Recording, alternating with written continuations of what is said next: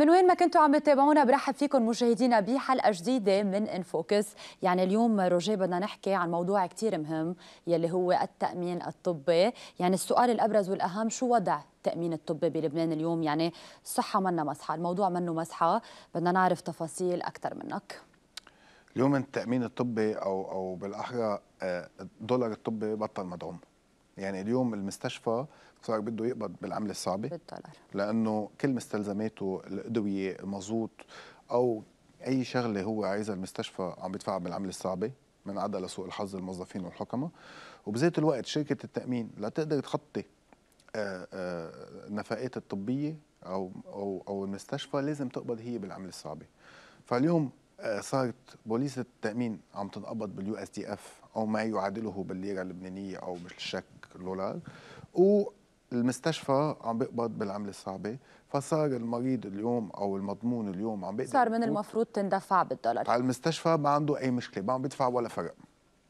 ف... يعني ما بيدفع أي شيء زيادة في حال اندفعت البوليصه بالدولار. مزبوط. يعني أول ما اخذ البوليصة نحن عندنا إياها بابا في بوليصة من نوع ثاني يلي هي يو إس دي إف. يو إس دي إف. صار بفوت على المستشفى كأنه من قبل بفوت على كافة المستشفيات؟ كل مستشفيات لبنان على كافة الأراضي اللبنانية بفوت كأنه من قبل ما بيدفع شيء من جيبته ولا دولار. ولا شيء ولا شيء ولا شيء يعني روجيه هون هيدا التأمين بيشمل كل البلدان؟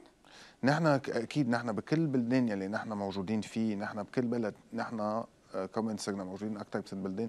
فينا إذا أي لبناني عنده هنيك ساكن هنيك نحن فينا نصدر له وثيقة تامين أو بوليس تامين من هول البلدان. آه نحن أكيد من لبنان عم نصدرهم من لبنان. هنيك ما عندهم مشاكل لسوء الحظ أو لحسن الحظ يلي نحن موجودين عنا.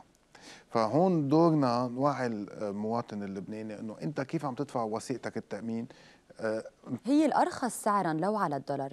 أكيد على كمان أرخص وحدة. يعني نحن أكيد وثيقه التأمين على كومن. بتضل أرخص وحدة. وعلى طول بدنا نذكر المشاهدين يعني كل ما زاد عدد المشتركين بكومن أكيد بطبيعة الحال تنخفض الأسعار.